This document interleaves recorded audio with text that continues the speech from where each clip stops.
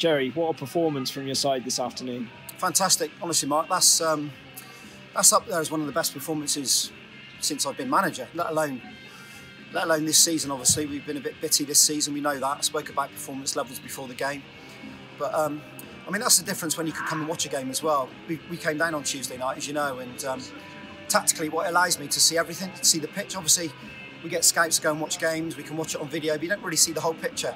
And um, I pride ourselves on being tactically astute. Um, and that's what it's allowed us to be. We've set up with a certain shape. We've gone after them high with the front four, almost turned into like a 4-2-4 if you like in our press. Um, and then we got the boys to drop in in a wide area. There's two attacking ones, Tommy Conway and Tom Smith. Worked ever so hard. Tried to tried to cut the supply off to their wing backs, which we did ever so well. And the biggest compliment is we, we kept 680 people quiet. I think for, for near on all the game apart from when they scored okay, we said they were going to get a moment in the game, but we limited them to, to very little. Um, we still kept creating chances. Um, really pleased for Donovan. It's a great move, great passing move, um, which he finishes off with real, real calmness. And fantastic for Tom Smith to get off the mark as well. And at 2 0, you think, well, come on, this. I don't like the word manage the game because when you say that, it's almost like you want to sit off, and we didn't. We stayed at it. Um, there was some really good football in it, honestly. It looked like, it didn't look like a team bottom of the league. It looked like a team that was up around the top. That's the biggest compliment I can pay to my players. They've taken a lot of information over this week and um, they've carried out the game plan. That's the biggest thing. They've just carried out the game plan to an absolute T. Um, and the only disappointment is obviously we've had two players sent off. Frankie for kicking the ball away, there's not a lot we can do about that off the bench. Whether it's a red or not, I don't know. I have to look at the rules. And the one with Tom, I might look at appealing it. I know it's his second yellow but he's trying to block a cross. His hands are down by his side, and he's given a, a yellow card. It's a free kick, if you like, but it's not deliberate. It's hit his arm. Um, so we'll have a look at that, and we may appeal it um, because. Um, we don't we don't want to lose players now. That's for sure. We've just about got a team out there which we thought was really strong today. It felt good all week. I said mm. to you, and um, credit to these players. They deserve it. And it's a, it's a great it's a great it's a great feeling on a Saturday night you had a real captain's performance as well. Ryan Clarke didn't drop a single cross. Some of the saves he pulled out, the one from Kane Wills in the second half, one or two in the first half as well. Really led by example. Well, you know, when you come to these places, you're going to have to, your keeper's going to have to be in good form as well. And, and your back four, I have to say that back four there, young James Taylor who's come in from Bristol City, he got injured with us. Um, he's a natural defender. He loves defending. You can see how he latches on. So credit to him coming back in. We pushed Will Dean into a central midfield role, and that's the bits we worked on all week. And um, like I said, I, am so pleased for our players, honestly. We said if we get a result, it could be a springboard. We're not going to get carried away, but we do know we're a very good side. I, I did say this week I said to some of the staff, I'm looking at training, I'm thinking we got we've probably got a more talented group than we've had in previous seasons. But what we haven't done is yet we haven't built a relationship and we haven't gelled. And they're starting to do that. You can see it. Physically, they're starting to get better. The sports science are working hard with them. And tactically today, as I said to a man, they were fantastic. Some of the football, some of the switches of play, some of the passing moves were terrific, honestly. Under, under, under stress, they were really calm with bodies around them. And like you say, you come to you come to second top whatever in the league with 680 people in here for the first time. None of our fans, and, and you and you get a result. I think this is the first time they've lost here for a very very long time.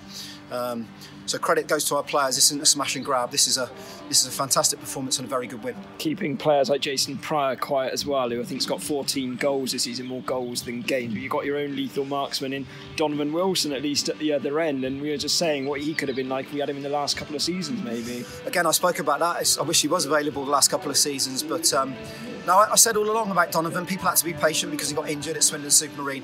I know the boy, I've worked with him for a very long time. He's a Bristol lad as well, so he's a West Country boy and he knows what it means. It matters to him. He wants to train ever so hard. He's doing his own stuff away from the football club as well. More importantly, he's a finisher and he loves scoring goals. And um, he's going to be one of the best ones in the league. If we can keep him fit and keep him on top, um, he's going to be one of the best strikers we've got, we've got, we've ever had at Bath City. I believe that genuinely. So it's all about now just staying calm. Obviously, we're excitable because we've got three points and we've won away from home. It feels great. The bus journey home, that will build confidence again. I've said to the boys, the thing to take away now is belief and confidence. Know that you can do it. Got that monkey off your back, if you like, that's been there, and people are saying, when are Bath going to dig out a result? Well, we've done it. We haven't dug out a result. We've come and got a really good result and deserved the result. So, um, what they need to do now is, is go away, recover properly, make sure that when we get back on the bus on Tuesday, they're ready to go and play a really tough game away at Concord. Um, on, on the evening on Tuesday night. Yeah, you've got two very long journeys to look forward to. Uh, looking forward to them. I suppose is the word. Can you say that? I am. Yeah, we want to play football, Mark. We want honestly, we want to play football. People say when you you know when our games were called off because of COVID and then Welling went off, we, no one's more disappointed than us that games were going off because we want to build that team cohesion. We haven't been able to do it, as I said, and I keep repeating myself. And honestly, it means so much. I've built myself on being a real tight knit group. The staff are tight knit, the players are tight knit over the last couple of years. You know, we go to Bath University, do three day camps. We do things away from the field that people wouldn't even know. We haven't been able to do it. And that's a massive part of managing. Of course, there has to be tactical stuff, but the biggest part is always managing relationships, managing players, managing people. And we've got some very good people, as I said. They're now starting to work out each other. And um, what we want to do now, we can't guarantee a result, the next one, but we can guarantee we can go there with a little bit of confidence, no arrogance, but confidence to know if we stick to a game plan, it might have to be different. Um, we've got an opportunity then to get another result. And if we can string a couple together, it'll see us back up the league, hopefully where, where we where we deserve to be eventually. Did it help having Ryan Harley back out there today? He's missed the last three. Absolutely. All these players have been key. You know, Frankie Artus, Ryan Harley. We've missed them. Jack Batten, we've missed them at times. Um, Jack has to go off with his thigh the other week at home to Dulwich. And um, that's what I said. Physically, physically, what you got to go careful when you change things slightly and we're demanding a little bit more often. You don't want to break them, and um, we've we've chucked in a load of stuff, pre-activation work now, working on their mobility, working on a load of back and, and hip stuff and groins, and that will take fruition eventually. That will eventually come through as well as all the other stuff. So, Ryan's an experienced player, knows the game. Understands his role and responsibility. Played as a, a number 10, if you like, or a, in a 4 2 3 1, the one advanced was really good for us. Calm in possession, worked ever so hard. The numbers he hits on his GPS are absolutely frightening for an experienced pro. Um, so yeah, it's great to have him back in. What we've got to do is manage him now and make sure he's right for the next game. Said it benefited that you managed to watch Dorking in the week as well. Is it the same sort of side? Yeah, absolutely. Mark Mark doesn't change his system. He believes in his system. All that changes is personnel. He made three changes before today, and um, he needed to do that because I know he wasn't too happy with the performance. I thought they were very good in a 2-2 draw against Maidstone, who are a good side as well. Um, so he's freshened it up, and all he's done is, is changed like for like. Um, and again, with his substitutions, he's done he's done the same. So what he has got is a very very strong squad. Squad. He's got some good players. He, he's a very good manager. I said before the game to their guys, he's recruited ever so well. I think his squad's stronger than it was last season, and as we know, they beat us in the playoffs.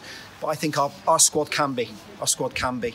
We're not we're not in the moment. We are where we are at the moment because we deserve to be there, I guess but we know now things are starting to build in the right direction, and there's no bigger there's no bigger bit of confidence for the players than winning away at Dorking. As I said, they haven't lost it for a very long time, and. Um, we're real, really all pleased tonight. We'll get back on that bus, we'll recover properly, make sure they do the recoveries over the next two days, and then turn up on Tuesday to go again.